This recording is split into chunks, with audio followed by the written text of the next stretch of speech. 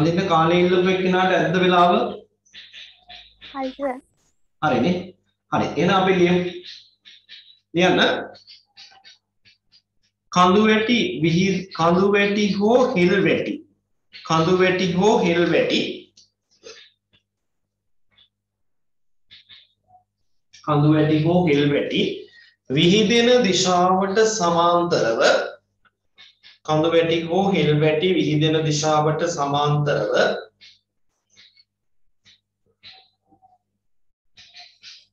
ඒ අතර පිහිටන පහත් නිම්න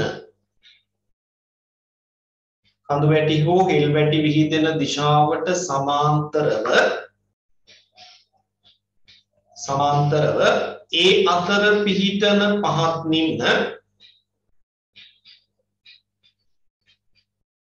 ඒ අතර පිහිටන පහත් නිම්න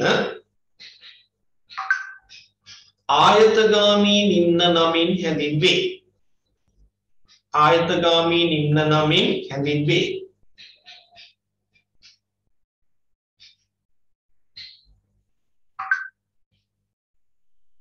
කඳු වැටි හෝ හෙල් වැටි විහිදෙන දිශාවට ප්‍රතිවිරුද්ධව කඳු වැටි හෝ හෙල් වැටි විහිදෙන දිශාවට ප්‍රතිවිරුද්ධව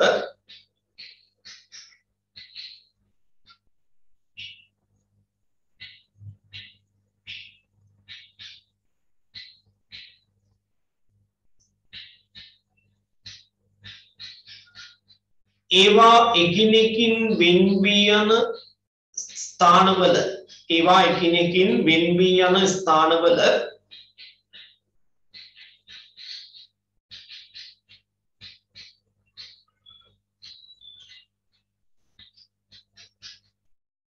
හරස්ව පිහිටන නිම්න. හරස්ව පිහිටන නිම්න.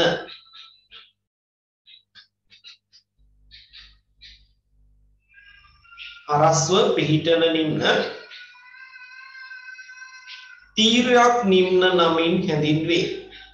තීරයක් නිම්න නමින් හැඳින්වේ.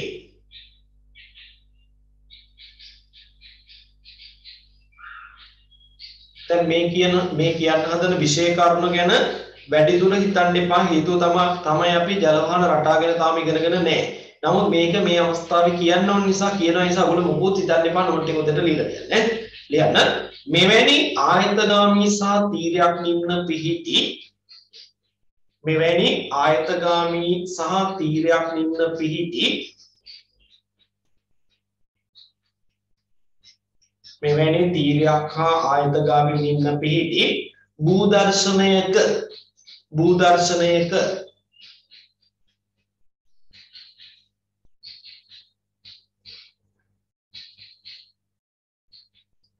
බොහෝ විට ජාලාකාර ජලවහන රටාව.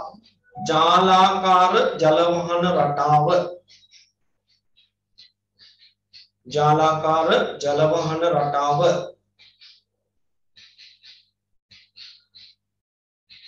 නිර්මාණය වේ. ජාලාකාර ජලවහන රටාව නිර්මාණය වේ.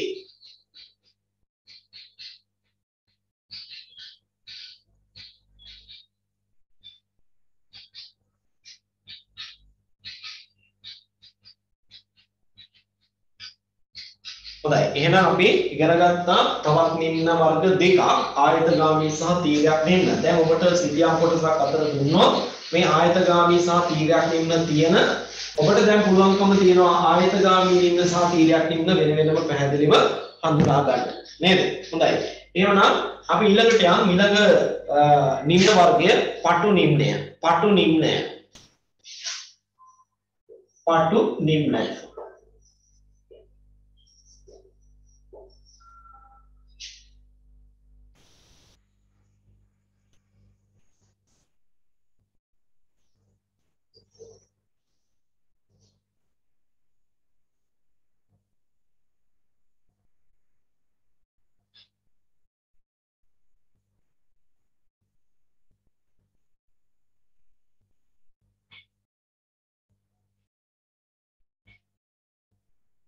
දැන් මෙතෙන්දී සමෝච රේඛා අන්තරයට වඩා මේ නිම්නයේ විවරය ඒ කියන්නේ නිම්නයක් පිටතට විවෘත වන ස්ථානයේ අපි කියන්නේ නිම්න විවරය කියලා. මේ නිම්න විවරයේ තියෙන පළල ගැන තමයි සැලකිල්ලට අරන් තියෙන්නේ. හරි? එහෙම බලනකොට ලොකු පළලක් නැති පටුවට නිර්මාණය වූ නිම්නයකට තමයි අපි කියන්නේ පටු නිම්න කියලා. මෙන්න මේ වගේ එකකට. හරි? මෙට්‍රික්ස් ඉතිහාස අධ්‍යයනය කරනකොට ඕගොල්ලන්ට මේ වගේ නිම්න හම්බ වෙනවා. එහෙනම් අඳින්න පුළුවන් සමෝජ රේඛා සටහන වටිනාකම ඔයගොල්ලෝ කැමති නම් 100 පටන් ගන්න. එහෙම නැත්නම් වෙනත් අගයක් දැම්මත් කමක් නැහැ. මේ පැත්තට වටිනාකම වැඩි වෙන බව පේන්න ඕනේ හැබැයි. 120 40 60 80 200 රේඛාවක් අඳින්න නැත්නම් හොඳයි. එතකොට තමයි පේන්නේ. දැන් මම නම් 100න් 100 දාපු නිසා 200 මම අඳිනවා. ඔයගලන්ට කැමති නම් වෙන වටිනාකම් දාලා අඳින්න පුළුවන් කිසි ගැටලුවක් නැහැ. 100 පටන් ගන්න ඕනේ කියලා නියමයක් නැහැ. පටු නිම්නේ. අඳින්න රූප සරහන ඇඳලා ඉවරලා මේ රේස් ඇන් මාක් එක දාන්න. එතකොට මට දෙන්නේ තුන් දෙනෙක්ද නැත්නම් අනිත් අයට දුන්න කාලය ඇති කියලා තීරණය කරන්න පුළුවන්.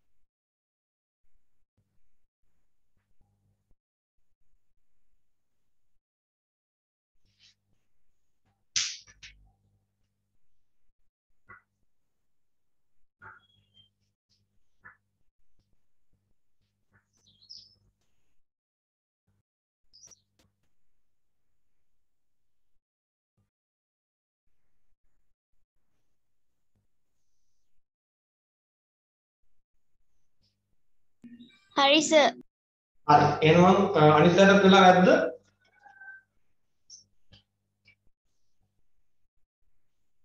නදුනේ ඇඳලා ඉවරද?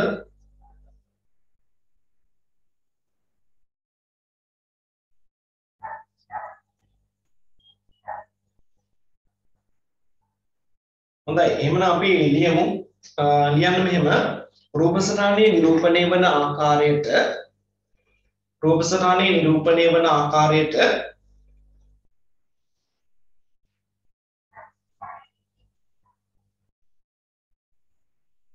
නිම්නය පිටතට විවර වන ස්ථානය.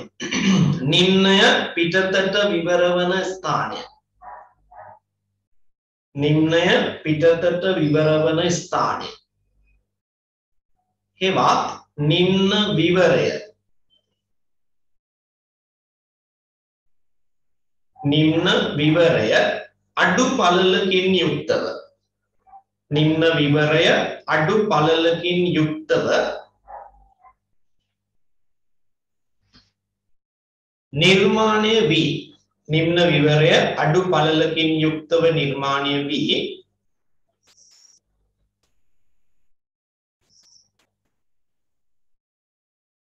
ඊට සාපේක්ෂව නිම්නය ගැඹුරට හැරී ගිය විට ඊට සාපේක්ෂව නිම්නය ගැඹුරට හැරී ගිය විට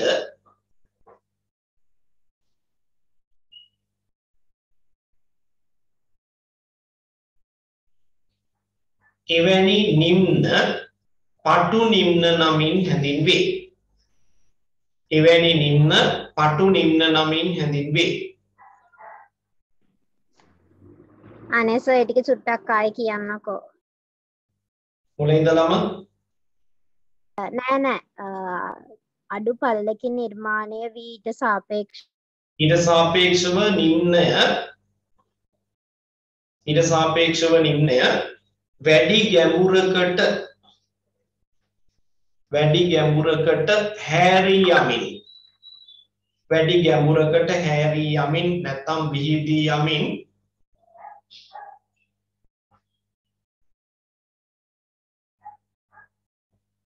නිර්මාණය වන නිම්නය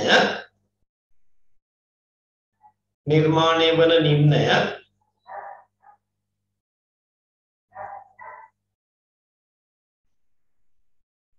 පටු නිම්න නමින් හැඳින්වේ. පටු නිම්න නමින් හැඳින්වේ.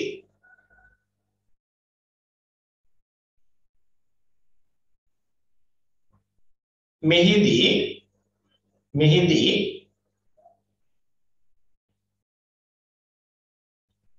සමෝච්ච රේඛා අන්තරයට වඩා මෙහිදී සමෝච්ච රේඛා අන්තරයට වඩා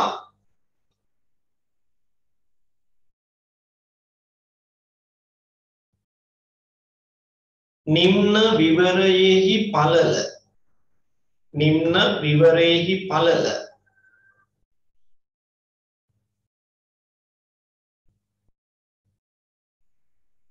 සැලකිල්ලට ගෙන තිබේ.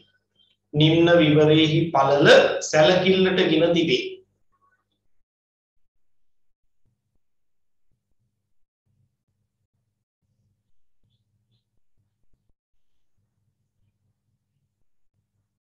හොඳයි එහෙනම් පටු නිම්නය කියලා කියනකොට මේ නිම්නේ පිටතට විවර වෙන විවරය පළලින් අඩු වෙන්න ඕනේ. හැබැයි ඒකත් එක්ක බලනකොට නිම්නේ අස්සට හැරලා තියෙන්න ඕනේ. පල්ලට පල්ලට සාපේක්ෂව ගැඹුර වැඩි. නේද? මේ කට පල්ල අඩුවේ ඒත් එක්ක බලනකොට දෙ- දෙගුණයක් විතර අභ්‍යන්තරයට කාවයිදලා තියෙනවා. නේද? එහෙම තනක් තමයි අපි කියන්නේ පටු නිම්නයක් කියලා. හොඳයි. එහෙනම් ආ, පටු නිම්නය අපි පැහැදිලි කරගත්තා. ඊළඟට යන්න හදන්නේ ඒත් එක්ක මේකේ ප්‍රතිවිරුද්ධ අවස්ථාව කතා කරා. පුළුල් නිම්නය. ඔයාලට පේනවා ඇති සමෝජ්ජ රේඛා කීපයක් අඳලා පුළුල් නිම්නයක් නිර්මාණය කරලා තියෙනවා රූප සටහනකින්. හැබැයි මේකෙදි බලන්න අ, පැහැදිලිවම අපිට පේනවා නිම්න විවරය ඊටාම පළලයි. ඊටාම පළලයි. ඒ වගේම තමයි මේ ගැඹුරට හැරලා ගිහිල්ලා තියෙනවා. නේද? අර පටු නිම්නේ වගේම ගැඹුරට හැරලා ගිහිල්ලා තියෙනවා නිම්න විවරය පළලයි. හැබැයි ඔයගොල්ලන්ට පේනවා ඇති සමෝජ්ජ රේඛා ලොකු ප්‍රමාණයක් නැහැ. දැන් මම ඇඳලා තියෙන සටහනේ තියෙන්නේ සමෝජ්ජ රේඛා හතරයි. නේද? සමෝජ්ජ රේඛා හතරයි ඇඳලා තියෙන්නේ. ඒ කියන්නේ මේකේ ලොකු විෂමතාවයක් පෙන්වන්න කලකොත් නෙමෙයි. නේද? සමෝජ්ජ රේඛා සංඛ්‍යාව අඩු වෙනවා කියන්නේ විෂමතාවය අඩුයි කියන එකනේ. එතකොට ආ, විෂමතාවය අඩු භූමියක නිර්මාණය වන ආ, නිම්න විවරය ඉතාම පුළුලින් යුක්තව හැදුණු ගැඹුරට හැරී ගිය නිම්නයකට තමයි අපි කියන්නේ පුළුල් නිම්නයක් කියලා. පුළුල් නිම්නයක්. එහෙනම් දැන් ඔයගොල්ලන්ට පුළුවන් ඊළඟ රූප සටහන අඳින්න ඊළඟ ලක්ෂණය එතකොට නම වෙන්නේ පුළුල් නිම්නය. පුළුල් නිම්නය.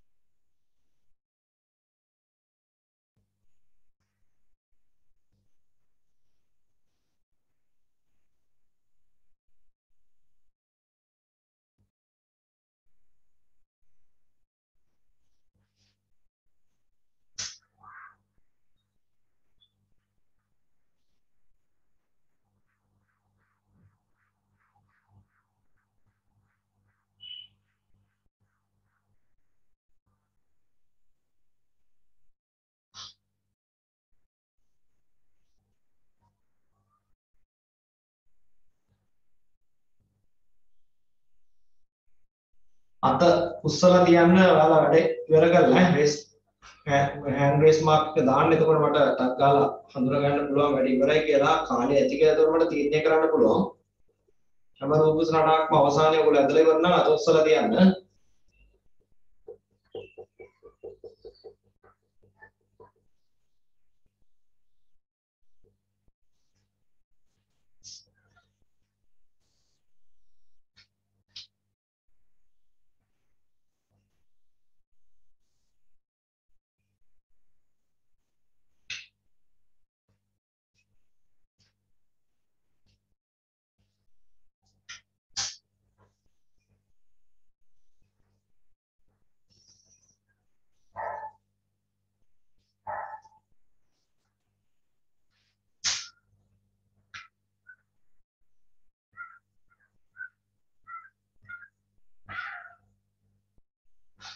එක්කෙනෙක් වැඩ ඉවරයි.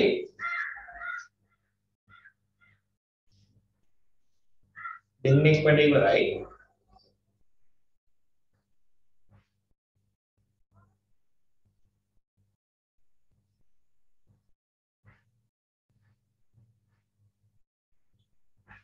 හොඳයි. තුන් දෙනෙක් වැඩ ඉවරයි. ඒ කියන්නේ මේ ලොකු දෙයක් මේක අඳින්නත් නැහැ. සමෝජන එක හතරයි අඳින්න තියෙන්නේ.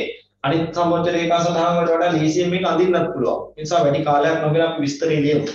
කියන්න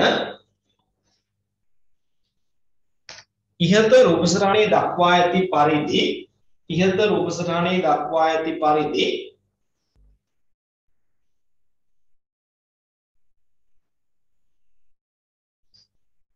නිම්න විවරය නිම්න විවරය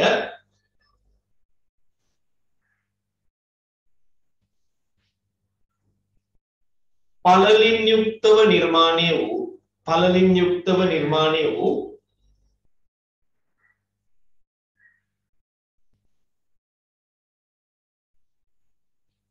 ගැඹුරට විහිද යන ගැඹුරට විහිද යන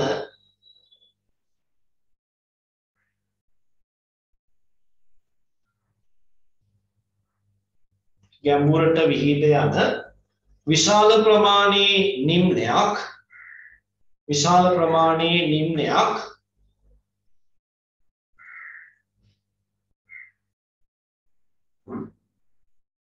පුළුල් නිම්නයක් නමින් හැඳින්වේ. පුළුල් නිම්නයක් නමින් හැඳින්වේ.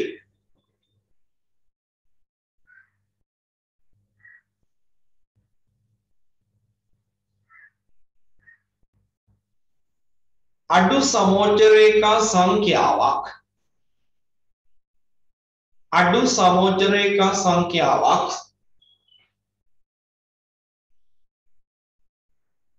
යොදා ගනිමින් අඩු සමෝචරේකා සංඛ්‍යාවක් යොදා ගනිමින්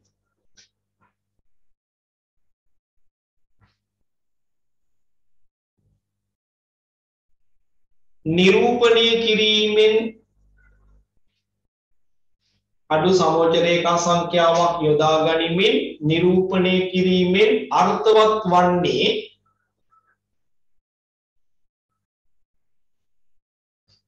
අර්ථවත් වන්නේ සාපේක්ෂව අඩු භූෂමතාවයක් ඇති. සාපේක්ෂව අඩු භූෂමතාවයක් ඇති.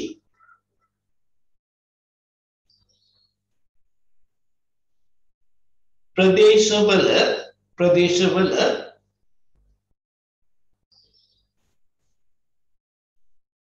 මේවා නිරීක්ෂණය කළ හැකි බවයි මේවා නිරීක්ෂණය කළ හැකි බවයි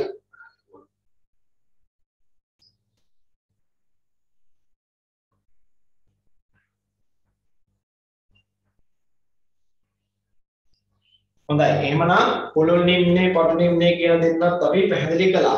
ඊළඟට ඔයගලන්ට පේන ඇති බෝඩ් එකේ වම් පැත්තේ ටිකක් බැලු බැලමට සංකීර්ණ බවක් තියෙන රූප සරහනක් ඇඳලා තියෙනවා. සමෝච රේඛා සරහනක් ඇඳලා තියෙනවා. නමුත් ඒකේ ලොකු දෙයක් නෑ ළමයි. මේ තියෙන ප්‍රධාන ගලක් මම අර කලින් කිව්වා වගේ මම ඉරිගාල පාට කළාට පාලයන් කරන්න එපා සම්පූර්ණයෙන්ම ගඟ ලාංගික පාටින් පාට කරන්න. ඒ වගේම තමයි ගඟට ජලය සම්පාදනය කරන අතු ගංගා දෙකක් පෙන්눔 කරලා තියෙනවා. නේද? ඒ අතුගංගා දෙක පටන් ගන්න පැත්තේ තියෙන උස්බිමක්. කඳු වැටියක් තියෙනවා මේක අපිට පේනවා මුදුන් 1යි 2යි 3ක් තියෙනවා. නේද? මුදුන් තුනකින් සමාන්විත කඳු වැටියක් තියෙනවා. ඒ කඳු වැටිය ටිකක් අර වෙනදා දින මේ සරල මට්ටමේ එකක් නෙමෙයි ටිකක් සංකීර්ණ බවක් පේනවා. නේද? සංකීර්ණ බවක් පේනවා. පැහැදිලිවම හඳුනා ගන්න පුළුවන් නිම්න දෙකක් තියෙනවනේ. මේ තියෙන්නේ. නේද? නිම්න දෙකක් තියෙනවා මේ පැත්තේ බෑරුමේ. මේ මේ බෑරුමේ. හැබැයි මේ පැත්තේ බෑරුමෙත් අපිට පේනවා මෙන්න මෙතන හොඳ කැපී පෙනෙන නිම්නයක්. නේද? හිමක් තියෙනවා. එතකොට අපි මේ පැත්ත ගැන අවධානය යොමු නොකර මේ මේ ගඟ පැත්තට නිර්මාණය වෙලා තියෙන මේ ප්‍රධාන බෑවුමේ පිහිටි නිම්න දෙක ඔස්සේ ගලා යනවා දිය පාරවල් දෙක. ජල පාරවල් දෙක. හරි? ජල පාරවල් දෙක. ඒ දෙක තමයි පසු කාලීනව ටිකක් සංවර්ධනය වෙලා මේ ගඟට ජලය එකතු කරන අතු ගංගාවක් බවට පත් වෙලා තියෙනවා. අන්න එතකොට අපි කියනවා මේ අතු ගංගාවක් ගලා යන නිම්නයක් නම් මේක ඒවට අපි කියන්නේ අතු ගංගා නිම්න කියලා. එහෙනම් මේ රූපසරණය ඔබට ඉදිරිපත් කරලා තියෙන්නේ අතුගංගා නිම්නයක්. අසුගංගා නිම්නයක්. ඒ නිසා මම මේ තියෙන ස්ථානේ හරියටම මාක් කරලා පෙන්වන්න ඕන නිසා රතු පාට පෑනේ ඉරක් ගහලා මාක් කරලා පෙන්නනවා. හරි? මේකෙත් ඕනනම් එහෙම කරන්න පුළුවන් එක තැනක් වෙන්නවම ඇති. එක වගේම ස්ථාන දෙකක් තියෙන නිසා. හරි? මෙන්න මේවට තමයි අපි කියන්නේ අතුගංගා නිම්න. එහෙනම් ඔන්න ඊළඟ සමෝච්ච රේඛා සටහන අතුගංගා නිම්න. අතුගංගා නිම්න. අපි ඉක්මනට අඳින්. දැන් ඔයාලා තාම වැඩ කරන්නේ පොතේනේ. නෝට් සාමාන්‍ය නෝට් ලියන පොතේනේ. ඒ නිසා මේ වගේ රූල්ස් නම් පොඩ්ඩක් ලොකු කොටුවක ඇඳුත් හොඳයි ඈ. අර පොඩි කොටුවක් අස්සේ මේක දාන්න ගියොත් ටිකක් වැඩේ සංකීර්ණ වෙනවා. ඒකට ඔයාලට පස්සේ දවසක බලනකොටත් වැඩේ තේරුම් ගන්නත් අමාරු වෙයි.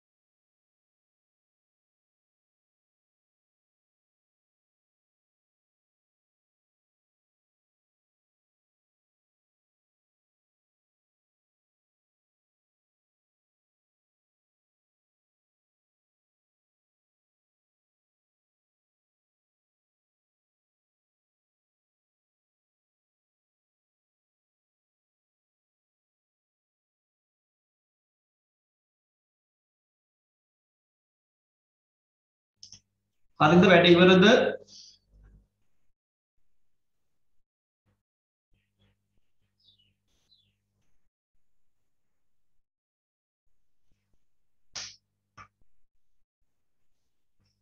එක්කෙනෙක් ඉවරයි. දෙන්නයි.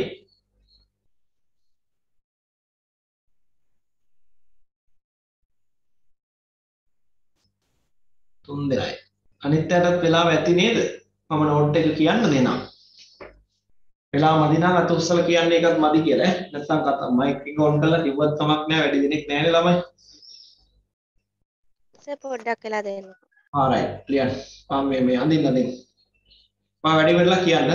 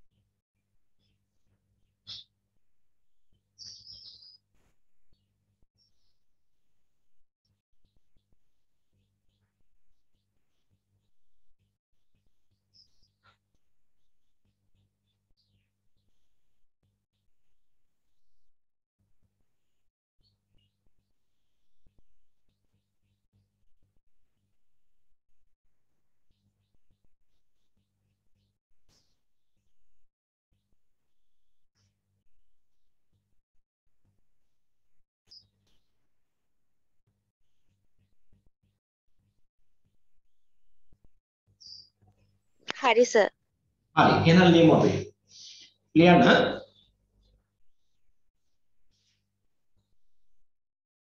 උස්බිමක උස්බිමක.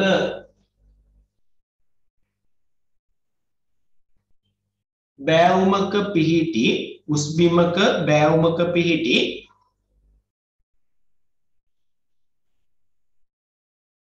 උස්බිමක බෑවුමක පිහිටි. නිම්නයක් ඔස්සේ නිම්නයක් ඔස්සේ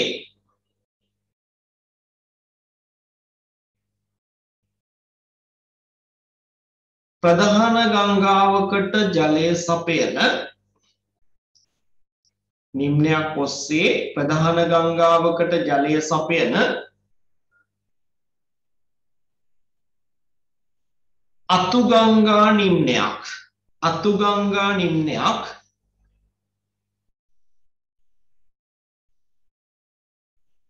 අතුගංගා නිම්නයක් වැටි ඇති විට වැටි ඇති විට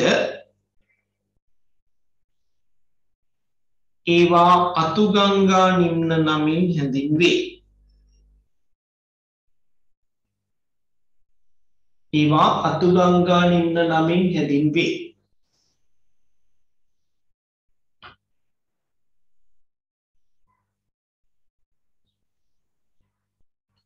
එම සටහනෙහි එම සටහනෙහි කිසියම් අවස්ථාවක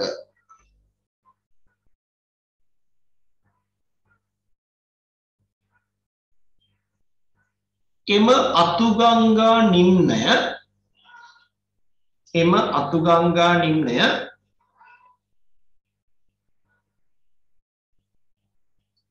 නිල් පැහැති කඩයිරි වලින් දක්වා ඇත්නම්. කිසියම් අවස්ථාවක එම අතුගංගා නිම්නය නිල් පැහැති කඩයිරි වලින් දක්වා ඇත්නම්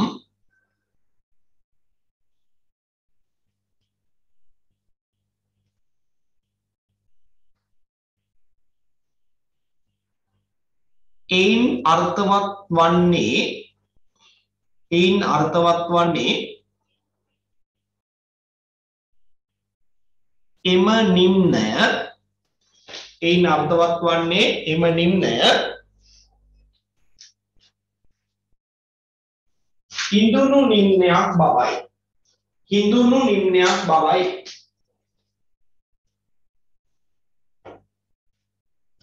එම නිම්නය හිඳුණු නිම්නයක් බවයි. ඒ කියන්නේ ළමයි සමහර මේ ප්‍රදේශවලට ගියාම දැන් උදාහරණයක් විදිහට ගත්තාම අපේ රටේ මධ්‍යම කඳුකරයෙන් ඊසාන දිගට නැත්තම් නැගෙනහිර පැත්තට බෑවුම් වන කලාපේ ඔයවැනි නිම්න තියෙන්න පුළුවන්. ඒ කියන්නේ අපි දන්නවා වියලි කලාපයේ ගලා යන ගංගා අවුරුද්දේ මාස 12ෙම ගලන්නේ නෑනේ. සමහර ඒවා කාලෙකට හිඳිලා යනවා. නේද? වියලි කාලය ආවම හිඳිලා යනවා. එතකොට ඉන්නේ වගේ නිම්න තියෙන්න පුළුවන්.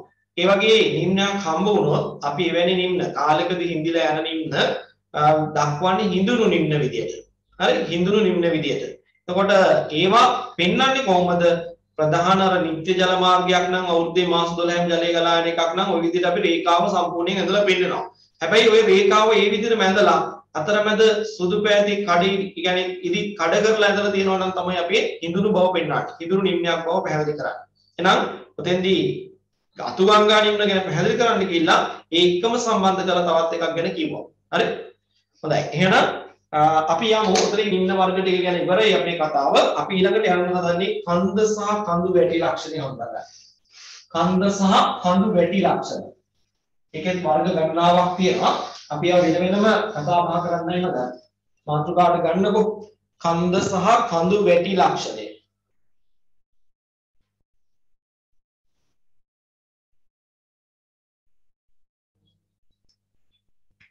හොඳයි. එතකොට කන්දක් සහ කඳු වැටියක් අතර වෙනස පළමු කොට හඳුනා ගන්න ඕනේ. දැනටමත් ඔයගොල්ලන්ට මේ කතා බහ කරගෙන ගිය දේවල් වලදී අපි කඳු ඇන්දා, කඳු වැටි ඇන්දා, එල් වැටි ඇන්දා නේද? ඔය තුන ඇදලා තියෙනවා. එතකොට කන්දක් කියලා කියන්නේ තනි මුදුනයකට තියෙන්න පුළුවන්. කන්දක් වුණාම තනි මුදුනයි. අවට භූමියේ නිහලට එසවුණු උස්බිමක් තමයි කන්දක් කියන්නේ. තනි මුදුනක් සහිත අවට භූමියේ නිහලට එසවුණු උස්බිමකට කන්දක් කියනවා. හැබැයි කඳු වැටියක් වුණාම ඒක ඒකත් අර වගේම අවට භූමියේ ඉහළට එසුණු උස්බීමක් තමයි. හැබැයි එක මුදුනකට වඩා මුදුන් තියෙනවා. මුදුනකට වඩා වැඩි සංඛ්‍යාවක් මුදුන් තියෙනවා නම් තමයි ඒක කඳු වැටියක් වෙන්නේ. නේද? ඒ වගේම තමයි හෙල් වැටියක් කියන්නේ මොකක්ද? හෙල් වැටියක් කියන්නේ හෙල් වැටියක් කියලා කියන්නේ වඩා උසට නොවිහිදුණු. අර තැන්නේ යම් උසකට වඩා උසට නොවිහිදුණු උස්බීමකට තමයි අපි කියන්නේ හෙල් වැටියක්. හැබැයි ඒකෙත් උස් මුදුන් මේ මේ මුදුන් තියෙන්න පුළුවන්. මුදුන් එකකට වඩා වැඩි සංඛ්‍යාවක් මේ හෙල්වැටි වල තියෙනවා. කන්දක් තරම් හෙල්වැටියක් උස නැහැ. දැන් අපි කියන්නේ මධ්‍යම කඳු කරේ නම් තියෙන්නේ කඳු වැටි. නේද? මධ්‍යම කඳු කරේ පුරා තියෙන්නේ කඳු වැටි. හැබැයි අපි කියනවා ප්‍රක්වාන හෙල්වැටිය. නේද? බුළු තොට හෙල්වැටිය. ඒ තරම් උස නැහැ. අර මධ්‍යම කඳු කරේ පුරා තියෙන කඳු වැටි තරම් උස ඒවා නෙමෙයි නේද? නේද? ඒ නිසා ඊට වඩා උසින් අඩු නිසා අපි කියන්නේ මධ්‍ය කඳුකරයට දකුණු දිග තියෙන දක්ෂිණ ප්‍රාකාරය කියලා හඳුන්වන මේ කොටස් දෙක රක්වාඩ මුළුතර කඳු වැටි කඳු වැටි නෙමෙයි කියන්නේ අපි සාමාන්‍ය වාරේ කියන්නේ හෙල් වැටි. නේද? ඒවා අරට වඩා උසින් අඩු නිසා. එහෙනම් අපි ওই සංකල්ප තුන ඉස්සෙල්ලා පැහැදිලි කරලා ඉන්නේ. ඊට පස්සේ රූපසන හඳුනා ගන්න. ලියන්න මෙහෙම අවට භූමියෙන් ඉහළට එසවෙන අවට භූමියෙන් ඉහළට එසවෙන මාතෘකා ලිව්ව නේද? කන්ද සහ කඳු වැටි ලක්ෂණය. අවට භූමියෙන් ඉහළට ඉසවෙන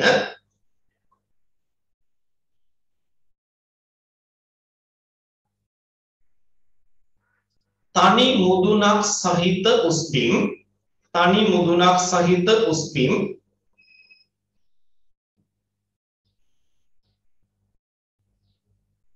කඳු නමින් හැඳින්වෙන අතර කඳු නමින් හැඳින්වෙන අතර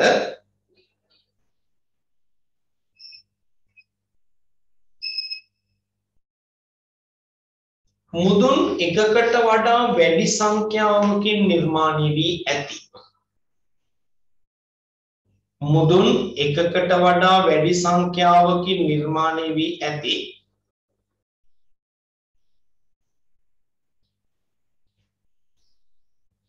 එවැනිම උස්බිම් මුදුන් එකකට වඩා වැඩි සංඛ්‍යාවකින් නිර්මාණය වී ඇති එවැනිම උස්බිම්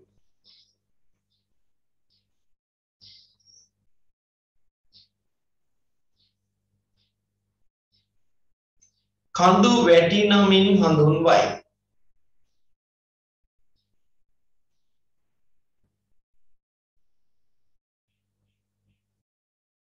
මේවා වඩාත් උසට විහිදී යාමක් නිරීක්ෂණය කළ හැකිය. මේවා වඩාත් උසට විහිදී යාමක් නිරීක්ෂණය කළ හැකිය.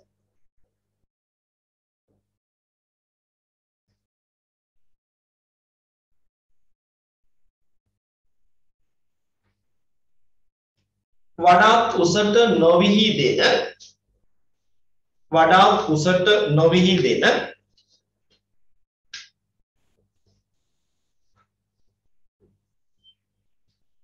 වඩා කුසට නොවිහිදෙන මුදුන් කීපයකින් සමන්විත. මුදුන් කීපයකින් සමන්විත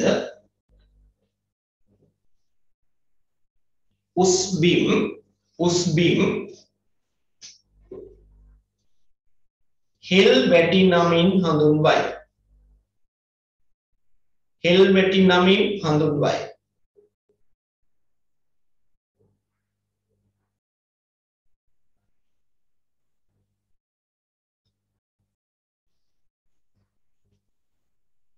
උදාහරණ ලියමු අපි පහලින් උදාහරණ. රිටිගල කන්ද. රිටිගල කන්ද.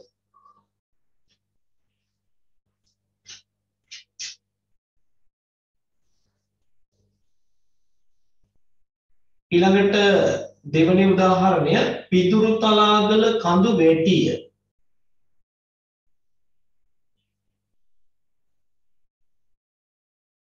පිදුරු තලාගල කඳු වැටිය. ඊළඟට සමනල කඳු වැටිය.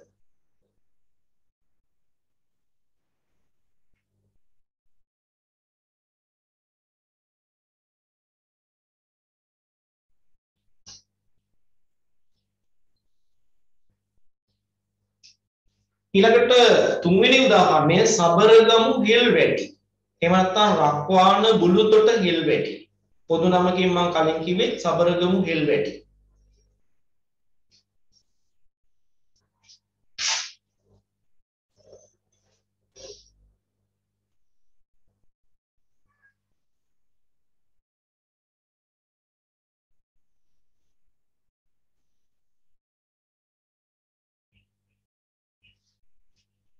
හොඳයි. මේක බලන්න රූපසලා තුනකින් ඇඳලා තියෙනවා. නේ මේ තනි මුදුනක් තියෙන එක්කෙනෙක් මෙයාට තමයි අපි කියන්නේ කන්ද. කන්ද. මෙයා මුදුන් තුනක් පේන්න තියෙනවා. සමෝජ රේඛා සංඛ්‍යාවත් වැඩි. ඒ නිසා මේව තමයි අපි කියන්නේ කඳු වැටි. කඳු වැටි. දැන් මේකේ ගොඩාක් කුසට ඇඳලා කියලා කියන්න අපිට වටිනාකම් දක්වලා නැහැ. දල සටහනක් නිසා වටිනාකම් දෙන්නෙත් නැහැ. කඳු වැටියක් ඊළඟට මෙන්න මෙයා බලන්න. අර මේ තරම් සමෝජ රේඛා සංඛ්‍යාවක් මේකේ නැහැ. සමෝජනිකා සංඛ්‍යාව අඩුයි කියලා කියන්නේ මම කලිනුත් කිව්වා භූ විෂමතාව අඩුයි කියලා. ගොඩක් විෂමතාවක් පෙන්වන්නේ නැහැ. අවට භූමියෙන් ඉහළට එසවලා තියෙනවා. නමුත් ගොඩක් උස නැහැ. ඒ නිසා අපි මේවට තමයි කියන්නේ හෙල් වැටි. හෙල් වැටි. අන්තිම උසරහන් තුනම දැන් ඔය කියපු ඉගෙනගත්ත දේවල් වලට ඉගෙනගත්ත දේවල් වලට සාධාරණීය වෙන්න අඳින්න ඕනේ. සාධාරණ වෙන්න අඳින්න ඕනේ. හෙල් වැටියක් කියන්නේ වඩා උස නොවන එකක් වුණා සමෝජ රේඛා දෙකකින් තුනකින් වැඩේ නවතින්න ඕනේ. ඒක 7 8ක් 10ක් 12ක් අඳින්න බෑ. හොඳේ. කඳු වැටියක් වුවාම ඒක 5ක් 6ක් 7ක් 8ක් 10ක් 12ක් ඕන තරම් ඇඳලා කවන්නේ. ඒ උස ගොඩක් වැඩි කන්නේ. කන්දකුත් එහෙමයි. තනි මුදුනයි තියෙන්න ඕනේ. හරි සමෝජ රේඛා කොච්චර නැන්ද කමන්නේ. එක මුදුනයි තියෙන්න ඕනේ ඊට වැඩි තියෙන්න බෑ.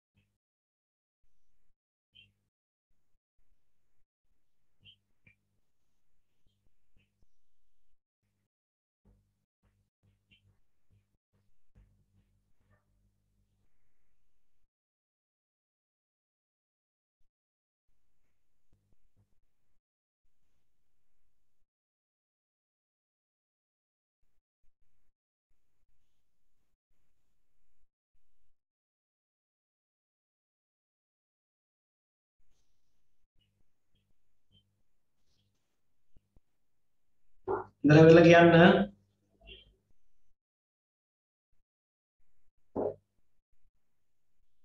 එක්කෙනෙක් වැඩ ඉවරයි.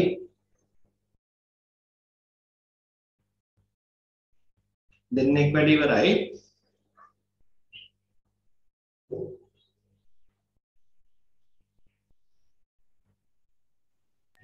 හරි සර් හරි. ඒ කියන්නේ තුන් දෙනෙක් වැඩ ඉවරයි කියන්නේ අනිත්‍යටත් කාලේ ප්‍රමාණවත් ඔය ටික ඇඳ ගන්න අපි යමු එහෙමනම් කඳු සහ කඳු වැටි වර්ග ගණනාවක් අපිට තියෙනවා කතා බහ කරන්න පළවෙනි කෙනා ගන්න අ, කොත් කන්ද. කොත් කන්ද.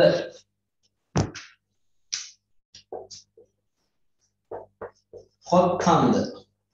දැන් මේ කොත් කන්දක් අපි සමෝජ රේඛා සටහනක හඳුනා ගැනීමේ පොතක් කියන එක අපි දන්නවනේ. නේද? අ, එතකොට මේක හඳුනාගන්නේ මෙන්න මෙහෙමයි සමෝජ රේඛා ආසන්න වශයෙන් වෘත්තාකාර ස්වභාවයෙන් විහිදිච්ච උස්බිමක් තමයි මේ කොත් කන්දක් කියලා කියන්නේ. එතකොට සමෝජ රේඛා සටහනේ ඔය සමෝජ රේඛා ටික ආසන්න වශයෙන් වෘත්තාකාර ස්වභාවයෙන් මේ විදිහට අ, නිර්මාණය වෙලා තියෙනවා. ඒක වෘත්තයක් ගත්තාම අපි දන්නවා ඒක හරි අ, කොහොම සියුම්ම නිර්මාණය වෙච්ච අ, නිර්මාණය කරන්න පුළුවන් දෙයක්. හැබැයි මේ වෘත්තයේ තියෙන ස්වභාවය බලාපොරොත්තු වෙන්න හොඳ නැහැ කොයි වෙලාවකත්. වෘත්තාකාර ස්වභාවයෙන් කියලා කිව්වොත් වෘත්තයට දැන් මේ මම අදින සඳහන් වුණා මේකේ වෘත්තාකාර බවක් නැහැ කියලා කෙනෙකුට තර්ක කරන්න පුළුවන්. සැබෑ ලෝකේ නෙවෙයි අර වෘත්තයකම ස්වභාවයට සමානතාවක් පෙන්වන සමෝච රේඛාවට කීයදවත් හම්බෙන්නේ නැහැ. නමුත් ඊට ආසන්න රූපාත්මක බවක් පෙන්වන අපි කියන්නේ වෘත්තාකාර ස්වභාවයට සමානයි කියලා. එහෙනම් මෙන්න මේ විදිහට අ, වෘත්තාකාර ස්වභාවයෙන් විහිදිච්ච සමෝජ රේඛා සටහනක් හම්බ වුණොත් තනි මුදුනක් සහිත අන්න ඒවට අපි කියනවා පොත් කන්දක් කියලා. දැන් මේක හරස්කඩ සටහන ඇන්දොත් අපිට පේන්නේ මෙන්න මේ එකක්. හරි මෙන්න මේ වගේ එකක් තමයි ඔය කියන්නේ. පොතක් වගේ. හරි එහෙනම් අපි අදිමු උසරාට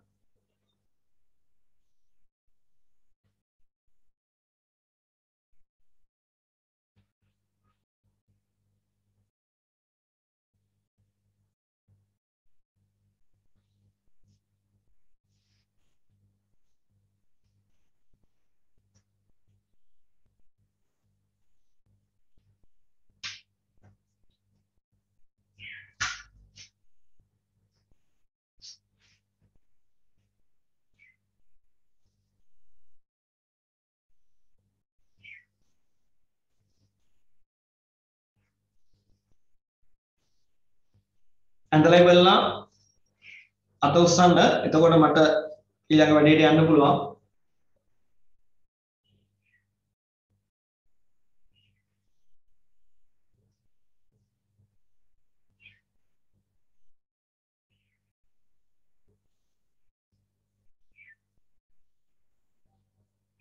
එක්කෙනෙක් වැඩ ඉවරයි.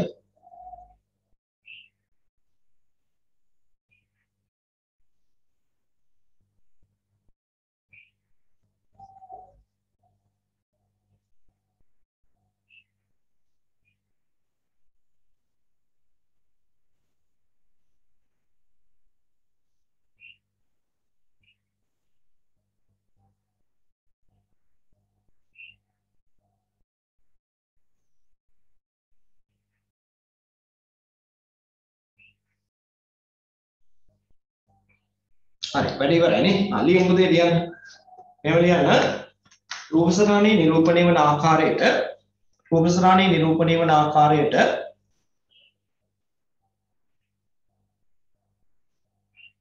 සමෝච්ච රේඛා සමෝච්ච රේඛා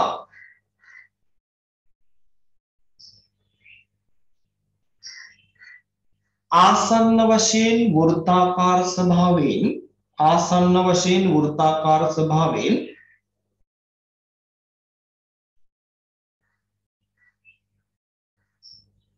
විහිදීමක් පෙන්වන ආසන්න වශයෙන් වෘත්තාකාර ස්වභාවයෙන් විහිදීමක් පෙන්වන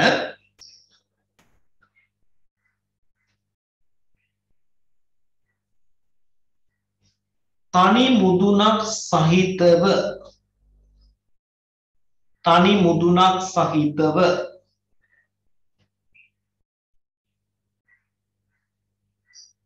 අවට භූමියෙන් ඉහළට එසවෙන තනි මුදුනක් සහිතව අවට භූමියෙන් ඉහළට එසවෙන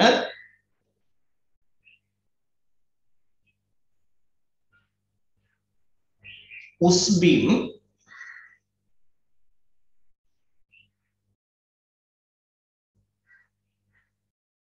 කොත් කඳු නමින් හඳුන්වයි. කොත් කඳු නමින් හඳුන්වයි.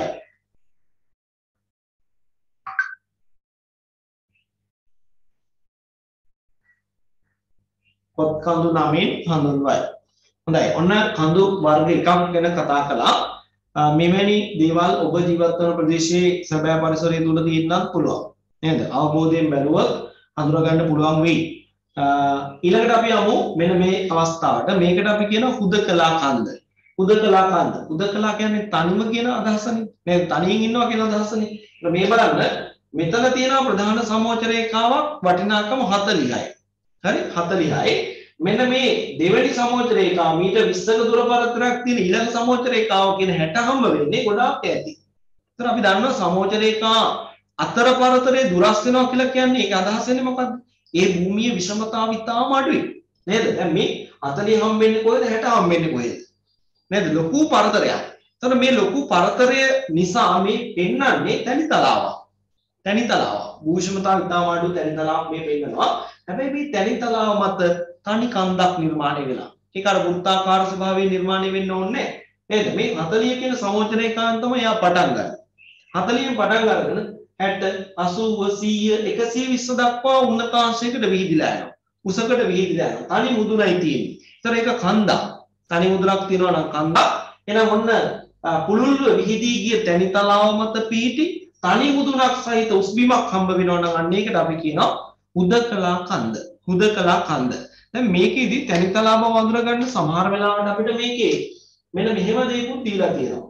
අ, කළු පාටින් තිත් තියලා ඔයාලා මේක දන්නවා. කළු පාටින් දිද තියලා වටිනාකම් දීලා තියෙනවා. 37 මොනවද මේ කළු පාටින් වටිනාකම්? කළු පාටින් දිද තියලා දුඹුරු පාටින් වටිනාකම් ලියන්නේ? අපි කලින් ඉගෙන ගත්තා.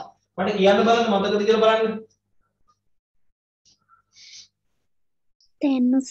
අන්න හරි very good. තැන්නුස නේද? තැන්නුස දීලා තියෙනවා ඒ තැන්නුසත් අපිට උපකාරී වෙනවා අවට භූමියේ තැනිතලාවක් කියන එක හඳුනා ගන්න හඳුනා ගන්න දැන් මේ බලන්නකෝ 40 මෙතන මෙන්න මේ හරියට එනකොට 41 කියලා දක්වනවා. ඊළඟට මේ හරියට එනකොට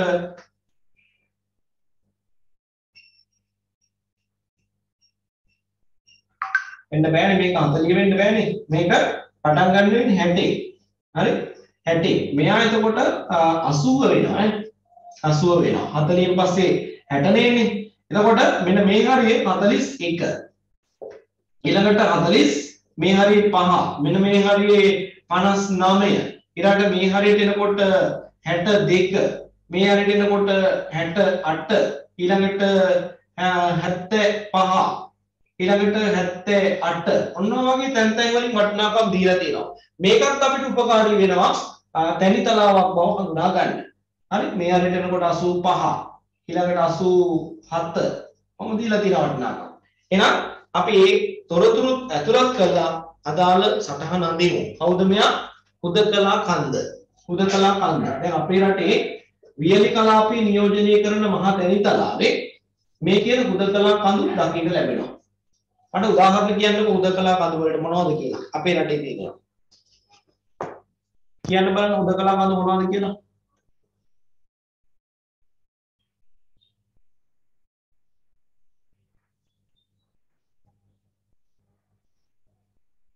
සීගිරිය ගන්න බැරිද? සීගිරිය හුදකලා ශේෂ කන්දා ඒ කියන්නේ නෂ්ටාවශේෂ විදිහට ඉතුරු වෙච්ච ඒදිලා ගිහිල්ලා ඉවිලා ගිහිල්ලා ඉතුරු වෙච්ච කඳු කොටසක් විදිහට තමයි ඒක අඳුරගන්නේ ඒකත් හුදකලා ශේෂ කන්දක් කියලා කියන්න ඕනේ හැබැයි. තැන්න මත තියලා තියෙන එකක් තැන්න මත නිර්මාණය වෙච්ච එකක්නේ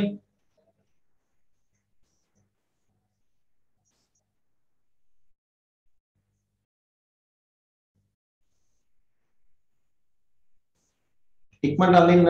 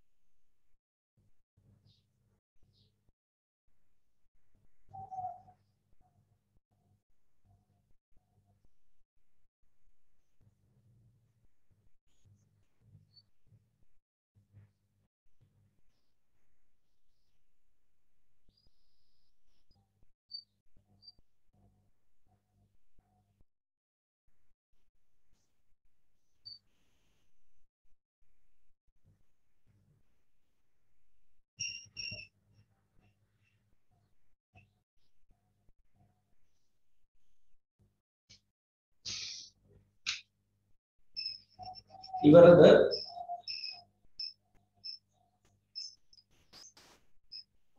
සර් හුදකලා කන්දකට වැඩිහිටි කන්ද ගන්න බෑද?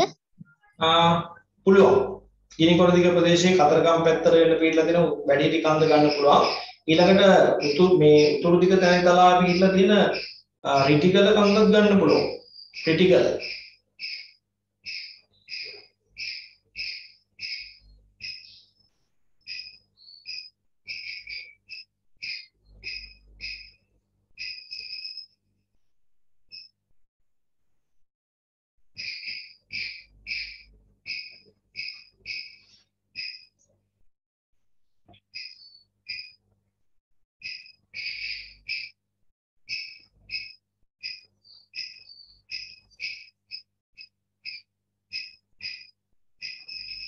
මම හිතනවා කාලය ඇති කියලා.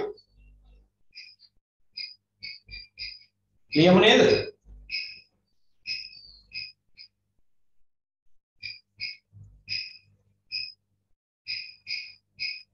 බෑ හුන්නස්ගිරි කන්ද ගන්න බෑ. ඒවා මුදකලා කන්ද නෙමෙයි. හුන්නස්ගිරි කන්ද ගන්න පුළුවන්ද කියලා අහනවා. ඒක බෑ ඒවා මුදකලා කන්ද නෙමෙයි. තනිතලාවක තනියම පිළිලා තියෙන්න ඕනේ පුතේ. අවට භූමිය තැනිතලාවක් වෙන්න හුනස්ගිරිය කිව්වම තැනිතලාවක් පීනමහනකවත් නෑ. හරි ලංකාවේ මධ්‍යම කඳුකරේ නැගෙනහිර දිග බැවුම් කලාප වලනේ ඔය ටික පිළිලා තියෙන්නේ. ඒක ගන්න බෑ.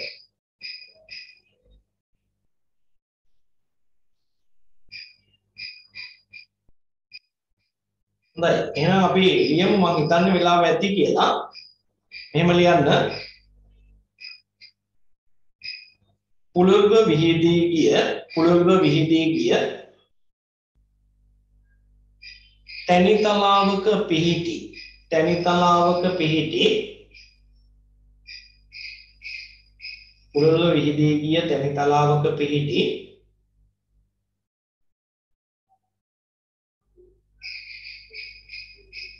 තනි මුදුනක් සහිත උස්බිම තනි මුදුනක් සහිත උස්බිම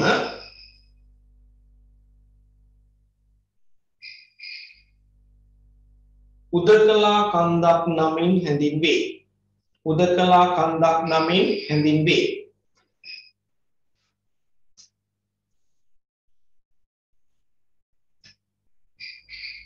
ප්‍රධාන සමෝච්ච රේඛා අතර දුරස් දුර පරතරය ප්‍රධාන සමෝච්ච රේඛා අතර දුර පරතරය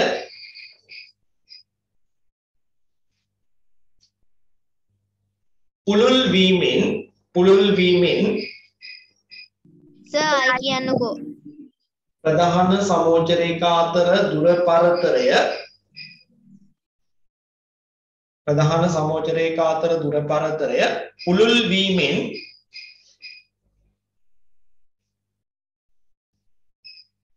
තැනිතලා බව තැනිතලා බව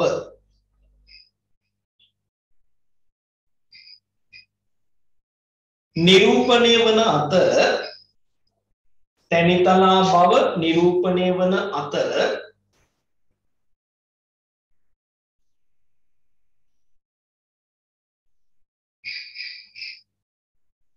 එම භූමියේ විවිධ ස්ථානවල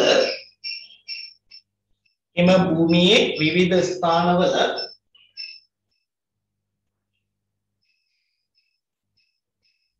තැන් උස තැන් උස. සටහන් කර තිබීමෙන්ද සටහන් කර තිබීමෙන්ද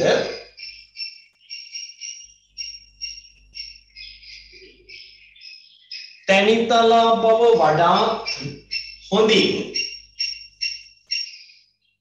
තැනිතලා බව වඩාත් හොඳින්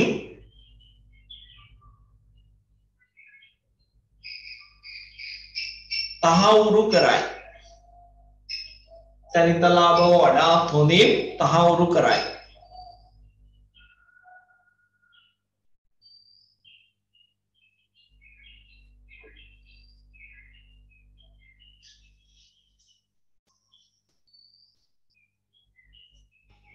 හොඳයි එහෙනම් උදකලා කන්ද අපිට දැන් හඳුනා ගන්න පුළුවන් උදකලා කන්දක්මද කියලා තීරණය කරන්නේ අවට භූමිය දිහා බලන්න වෙනවා නේද? අවට භූමියේ තැනිතලාවක් විය යුතුමයි.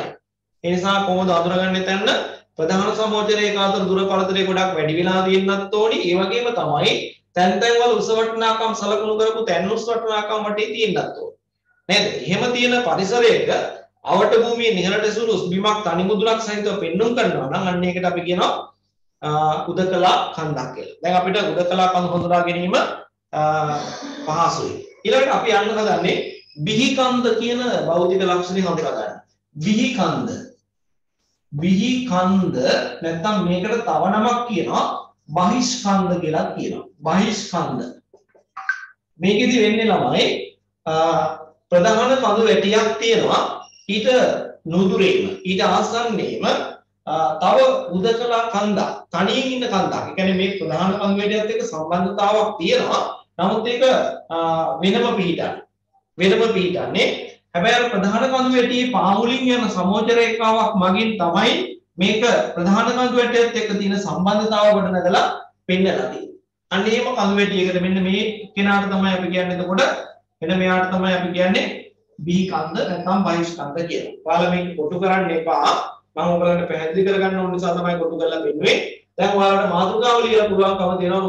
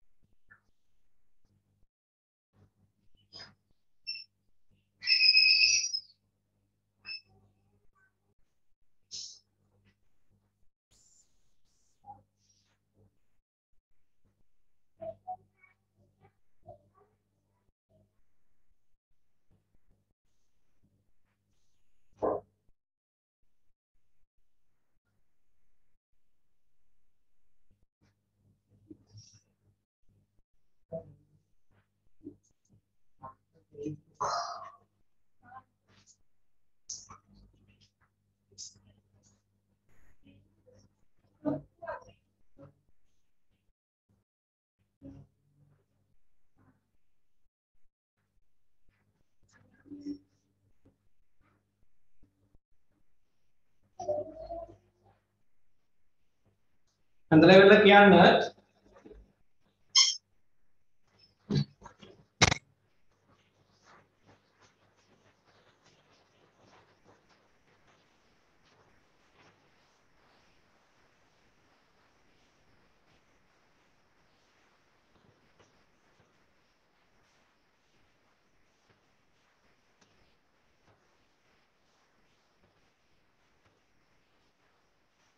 කියන්න දෙන්නෙක් වැඩ ඉවරයි.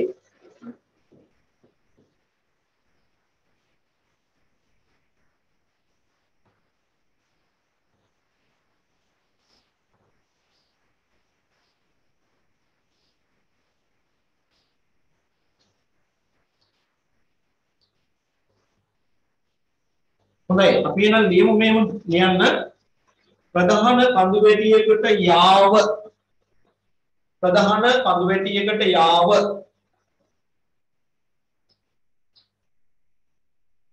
නිර්මාණය වන ප්‍රධාන කඳුවැටියකට යාව නිර්මාණය වන කුඩා ප්‍රමාණයේ කන්ද. කුඩා ප්‍රමාණයේ කන්ද. බිහි කන්ද හෙවත් කුඩා ප්‍රමාණයේ කන්ද බිහි කන්ද හෙවත්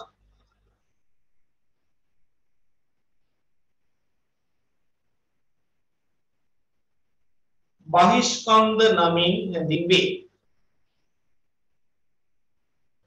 බිහි කන්ද හෙවත් බහිෂ්කන්ද නමින් හැඳින්වේ.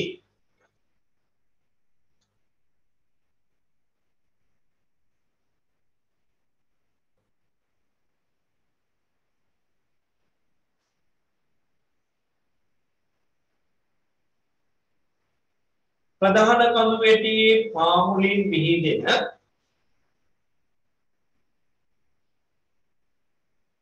ප්‍රධාන කඳුවැටියේ පාමුලින් විහිදෙන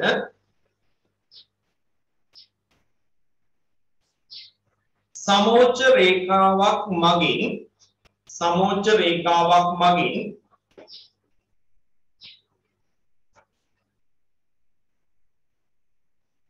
සමෝච්ච රේඛාවක් මගින්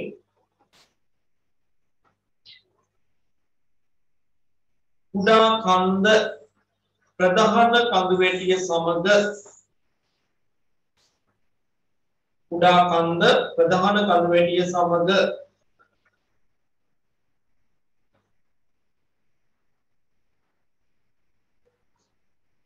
සම්බන්ධතාව ඇති කරගෙන තිබේ. නැත්නම් සම්බන්ධතාව ඇති කර ගනී.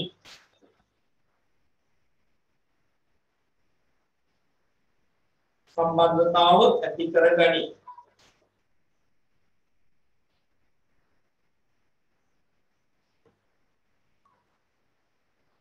හොඳයි. එහෙමනම් අපි විහිකන්ද කියන ලක්ෂණයක් හඳුනා ගත්තා. ඊළඟට ඔයගලන්ට පැහැදිලි කරන්න හදන්නේ සමමිතික කඳු වැටිය. දැන් කලිනුත් මම සමමිතික කියන එකේ තේරුම පැහැදිලි කරලා දුන්නා. නේද? ඒ අදාළ සලකා බලන වස්තුව මත හරි මැද්දෙන් රේඛාවක් ඇඳහම ඒ අදාළ වස්තුව කොටස් දෙකකට බෙදෙනවා.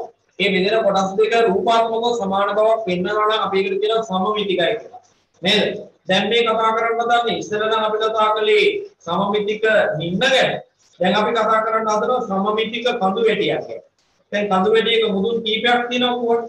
මේ මුදුන් කීපය කියන එක සම්බන්ධ කරලා දැන් මේ අතර තියෙන කඳු වැටිය නම් මුදුන් දෙකයි තියෙන්නේ. හරි? මේ මුදුන් දෙක සම්බන්ධ කරලා මේ වගේ තිරස් රේඛාවක් ඇඳොත් අපිට පේනවා කඳු වැටිය කොටස් දෙකකට බෙදෙනවා. නේද? මේ පැත්ත අපි බටහිර බෑවුම කියලා කිව්වා.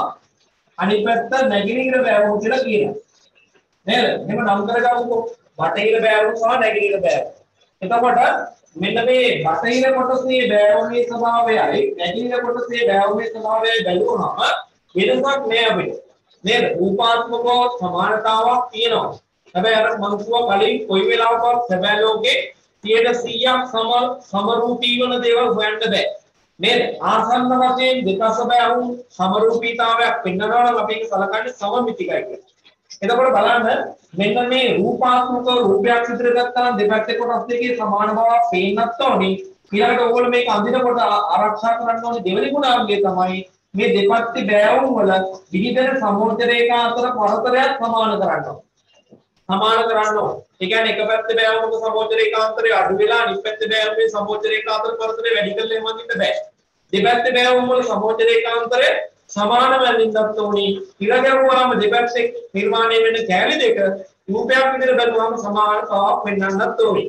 100ක් සමාන බව අවශ්‍ය නැහැ. රූප තරානේ නියක් නිකම් පියවියෙන් බැලුවාම සමාන නැහැ කියලා කියන්න බැරි මට්ටම නැත්නම් ඇති. හරිද? එහෙනම් එහෙම ඒවාට අපි කියනවා සමමිතික කඳු වැටි. එහෙනම් මාතෘකාව ලියන්න ඉඳලා එක්කෙනාගේ සමමිතික කඳු වැටිය දැන් ඔයාලට අඳින්න පටන් ගන්න පුළුවන්. සමමිතික කඳු වැටිය.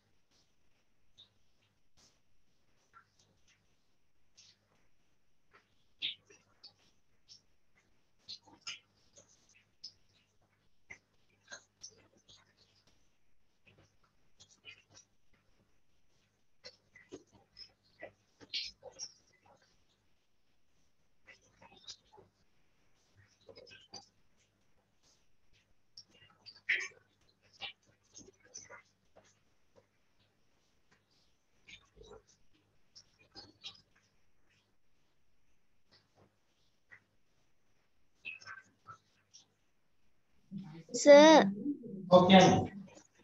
අර මේ සමමිතික කඳු වැටියේ ඊතල දෙකට යටින් ලියලා තියෙන්නේ පේ- ඒක පේන්නේ නැහනේ. ආ ඒක ඕනේ නැහැ. ඒක ලියන්න ඕනේ නැහැ. මේක ලියන්න ඕනේ නැහැ. ඊසල් දෙක ඕනෙත් නැහැ හොඳේ. නිකන් රේඛාවක් දාලා තියන්නද?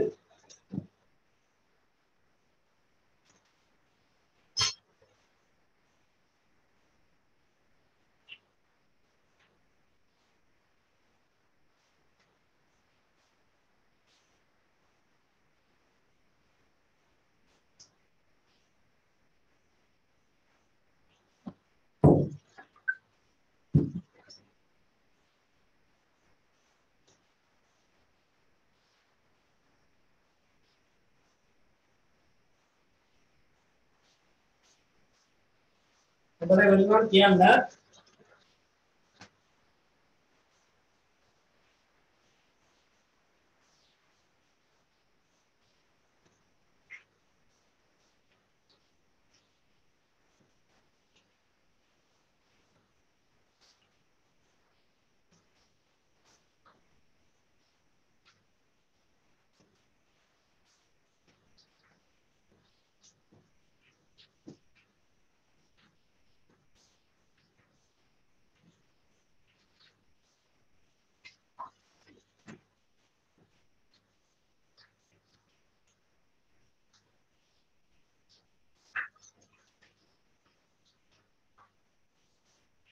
හරි සර්.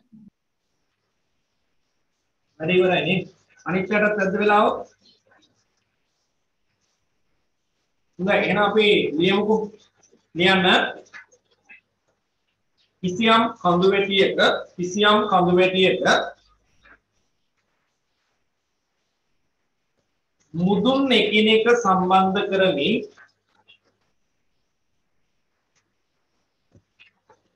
කිසියම් කඳු වැටියක මුදුන් එකිනෙක සම්බන්ධ කරමින්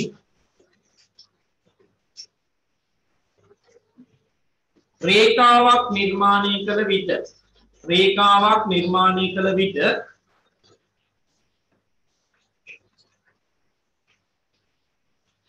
රේඛාවක් නිර්මාණය කළ විට එම රේඛාවෙන් දෙපස නිර්මාණය වන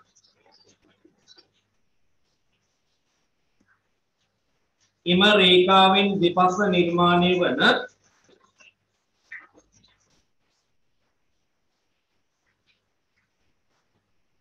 කඳු බෑවුම් වල එම රේඛාවෙන් දෙපස නිර්මාණය වන කඳු බෑවුම් වල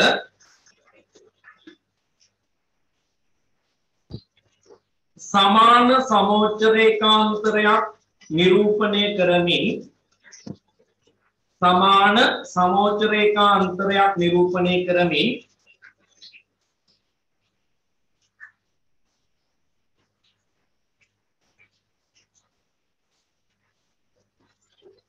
දෙපස බැවුම් වල රූපාත්මක බව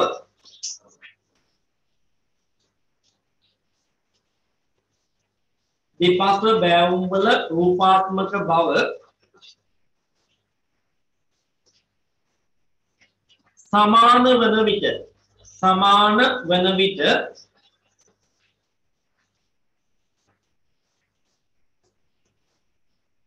එවැනි කඳු වැටි එවැනි කඳු වැටි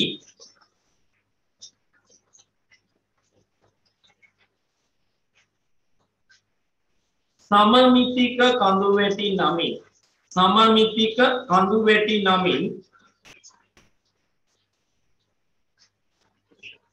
හැඳින්වේ. සමමිතික කඳු වැටි නමින් හැඳින්වේ.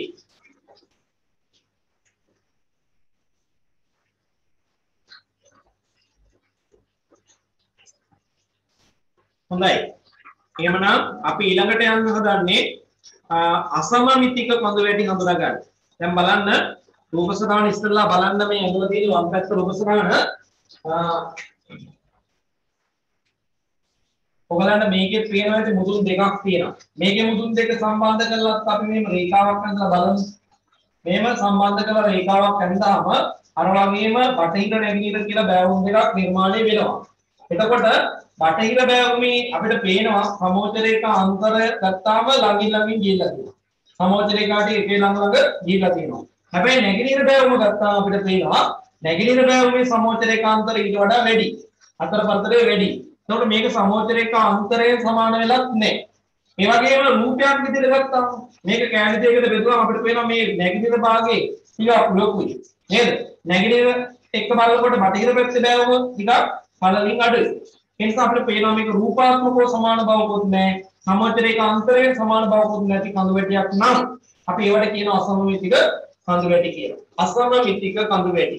එහෙනම් දැන් ඔයගොල්ලන්ට උත්තර ගන්න දෙන්න පුළුවන් මාතෘකාවියට අසමමිතික කඳු වැටි කියලා.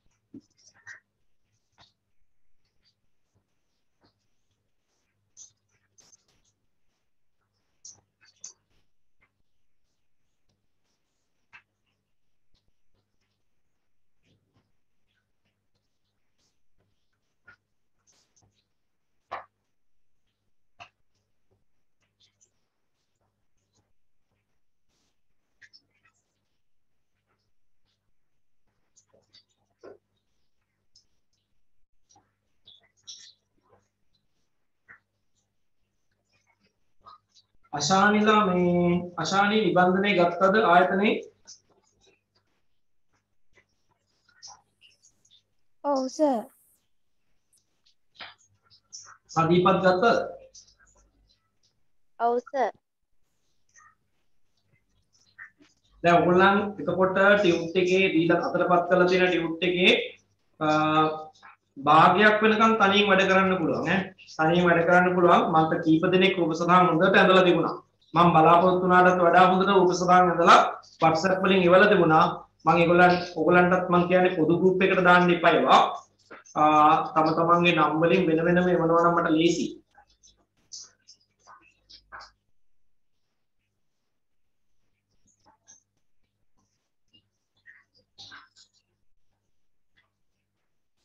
මේක අඳින්න කාලේ ඇද්ද?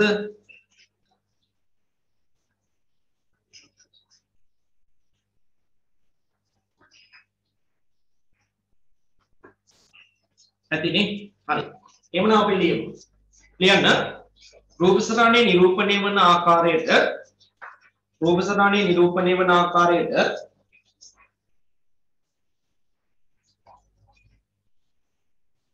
කඳු වැටියේ මුදුන් කඳු වැටියේ මුදුන් එකිනෙක සම්බන්ධ කරමින් කඳු වැටියේ මුදුන් එකිනෙක සම්බන්ධ කරමින්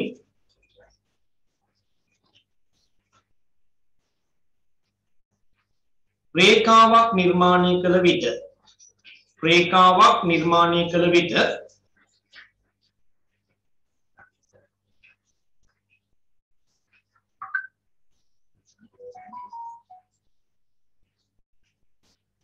දෙපස බෑවුම් වල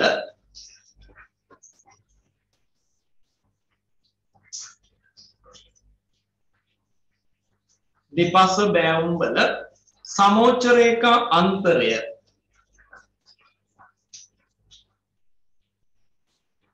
දෙපස බෑවුම් වල සමෝච්ච රේඛා අන්තරය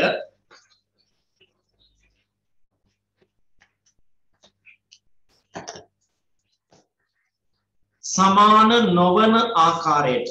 සමාන නොවන ආකාරයට. සමාන නොවන ආකාරයට.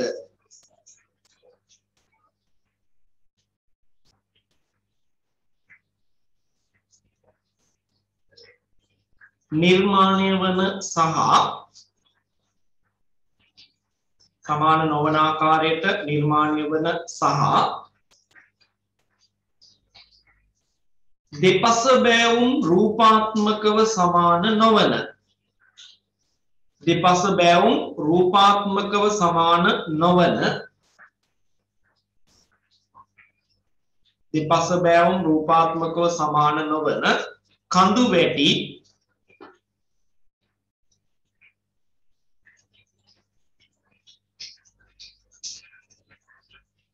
අසමමිතික කඳු වැටි නමින් හැඳින්වේ අසමමිතික කඳු වැටි නමින් හැඳින්වේ.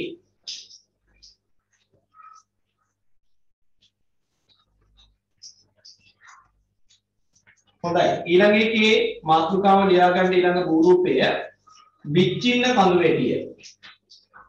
විච්චින්න කඳු වැටිය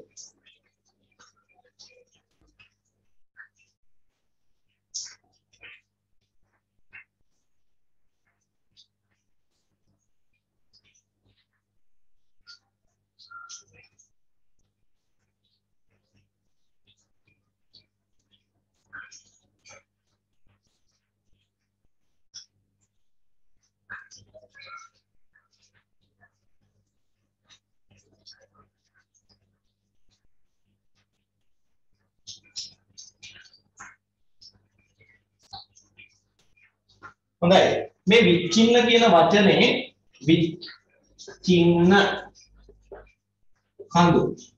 විච්චින්න කියන වචනේ සරල තේරුම තමයි කැඩී බිඳී ගිය. එක දිගට නොවිහිදුණු කියන අදහස. හරි? එක දිගට නොවිහිදුණු කියන එකටත් වඩා හොඳ කැඩී බිඳී ගිය කියන අදහස. තමයි ඉස්මතු කරන්නේ මේ විච්චින්න කියන වචනේ. එතන බලන්න අපි දැන් ඇඳා අසමමිතික කඳු වැඩි. කලින් ඇඳ සමමිතික කඳු වැඩි. හෙල් වැටි. නේද? කොහොම ඇඳලානේ.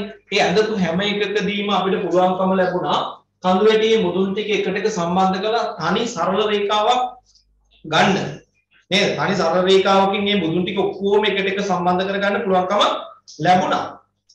හැබැයි මේ දැන් ඇඳලා තියෙන කඳු වැටිය පේන ඕගොල්ලන්ට මුදුන් ගණනාවක් තියෙනවා. 1යි 2යි 3යි 4යි 5යි 6ක්. කඳු වැටියේ මුදුන් 6ක් තියෙනවා. දැන් අපිට පුළුවන් නම් කියන්න බලන්න මේ මුදුන් 6 එක තනි සරල රේඛාවකින් මේ වගේ සම්බන්ධ කරගන්න පුළුවන්ද කියලා? මේ වගේ සම්බන්ධ කරගන්න පුළුවන්ද? කිසි විටකත් බෑ. නේද? තනි සරල රේඛාවක් ඇඳලා මේ මුදුන් ටික එකට එක සම්බන්ධ කරලා ගන්න බෑ. අන්න ඒ වගේ අවස්ථාවක් තමයි අපි මේ කියන්නේ විච්චින්න කඳු වැටි කියලා. ඒ කියන්නේ කැඩී බිඳී ගිය කඳු වැටි. මේ කඳු වැටියේ මුදුන් හේදිලා හේදිලා හේදිලා ගිහලා තැන් තැන් වල ප්‍රතිරෝධී පාෂාණ තල තියෙන තැන් විතරක් ඉතුරු වෙලා තැන් තැන් වල අවිධිමත් ආකාරයට මුදුන් හැදෙනවා. අන්න ඒවට අපි කියනවා ඒ සහිත ලක්ෂණයට අපි කියනවා විච්චින්න කඳු වැටි. හොඳයි ඉක්මනට අඳින්නකෝ මේක. විච්චින්න කඳු වැටි.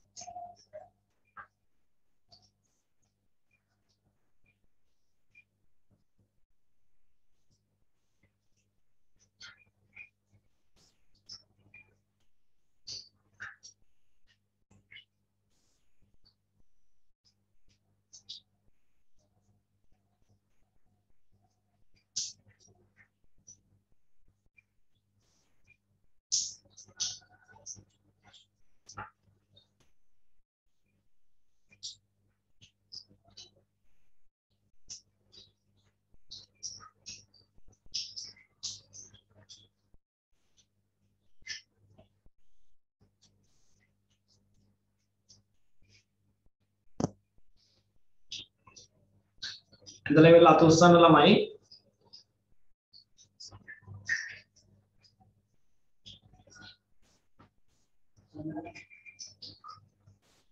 හරි සර් හරිනේ.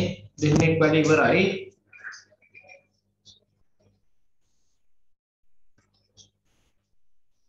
නයි. තුන් දෙනෙක් වැඩ ඉවරයි කියන්නේ අනිත් පැයට හතරක් වැඩ ඉවරයි. අනිත් පැයටත් ඒ කියන්නේ වෙලාව ඇති. අපි ලියමු මේකත් සටහන ලියන්න රූප සටහනේ දක්වා ඇති පරිදි රූප සටහනේ දක්වා ඇති පරිදි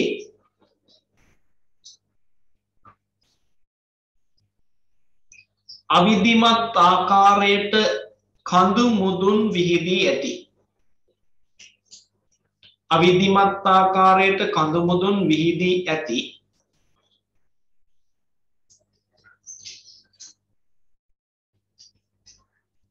කඳු වැටි. කඳු වැටි.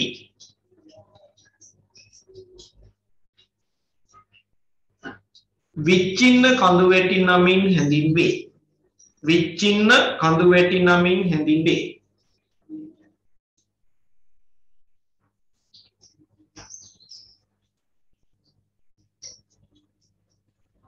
මෙම කඳු වැටිවල මෙම කඳු වැටිවල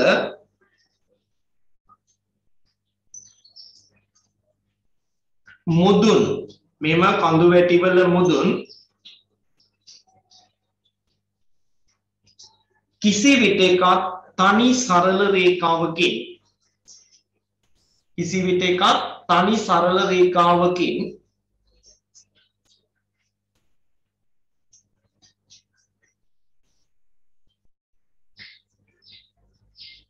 එකිනෙක හා සම්බන්ධ කළ නොහැකි වේ. එකිනෙක හා සම්බන්ධ කළ නොහැකි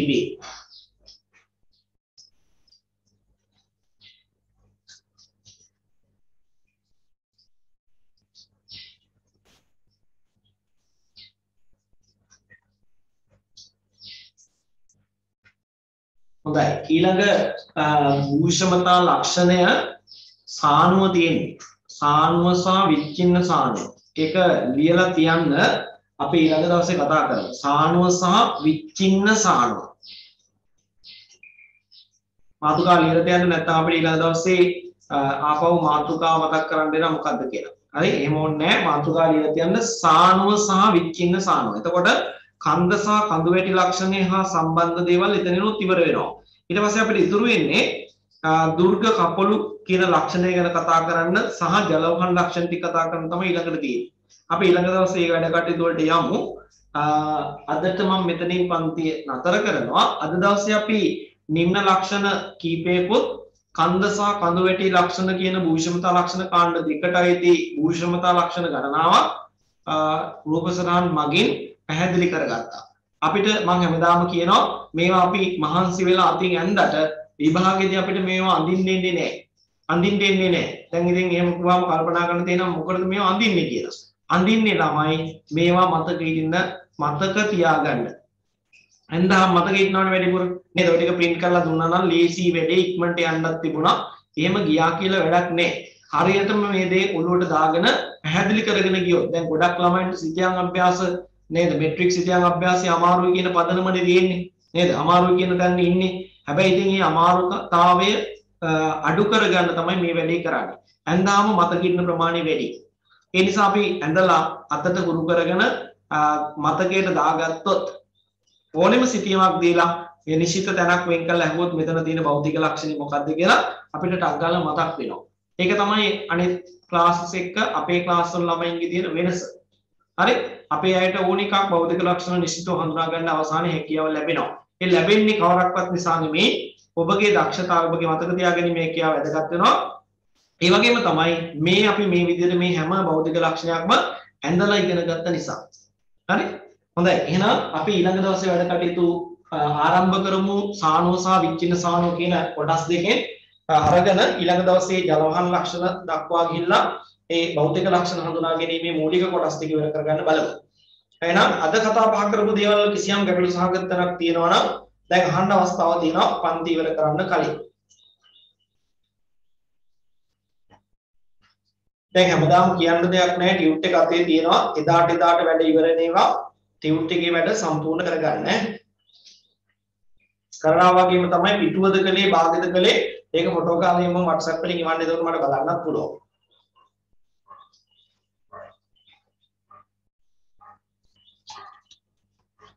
හොඳයි ළමයි ගැටලුවක් නැත්නම් අපි පන්ති මෙතනින් නවත්තමු. එහෙනම් සියලු දෙනාටම සුබ දවසක් වේවා. ආයුබෝවන්.